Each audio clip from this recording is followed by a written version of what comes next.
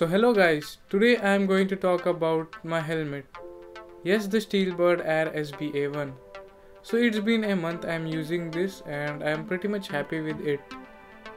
So just thought of reviewing it and here are my reviews guys. So it's a nice helmet, the graphics are awesome. The helmet can easily cut up ice. The design is also fantastic.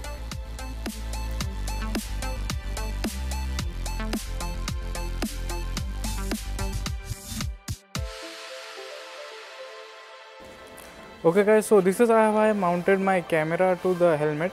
It's a clean setup just a curved mount with 3m tape. So i will be reviewing this helmet.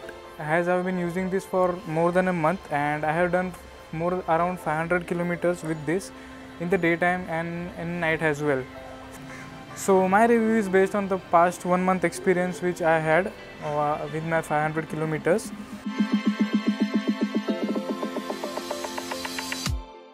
so talking about this helmet it's a budget oriented helmet and the price at what you get it is amazing.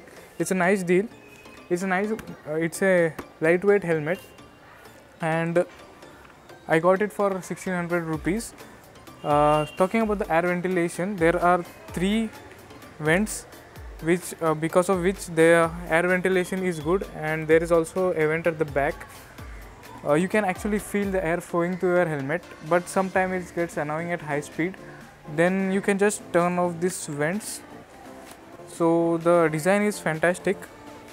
So talking about the smoke visor uh, its visibility at night is also good but when the streets are well illuminated when on highways or when there are no street lights this uh, helmet is pretty much useless because you cannot see the road very properly and also the potholes and all of the roads are not visible.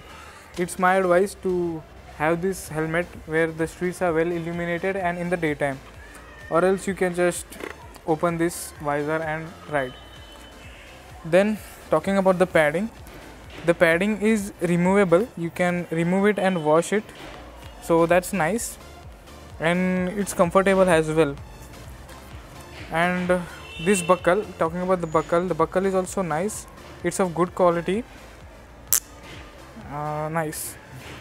So concluding this helmet it's a nice helmet for what you get at the price point uh, and there are also different graphics available.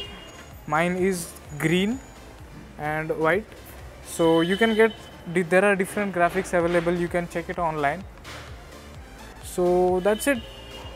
Uh, if you ask me whether you should buy this helmet i will say definitely yes for the price point it's nice. So this is these are my reviews about this helmet. So thank you for watching guys. If you like this video give it a thumbs up. Uh, and also if you want to see the camera angle you can check out my other vlogs as well. I have been doing moto vlogging also. So that's it guys. I will end this video here. This is sahil signing off. You guys have a great day. Ride safe. And also subscribe to my channel. Thank you for watching guys